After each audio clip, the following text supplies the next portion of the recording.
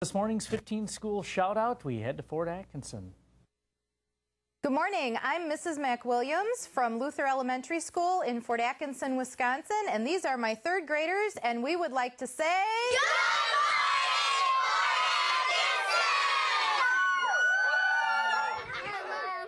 Fort Atkinson.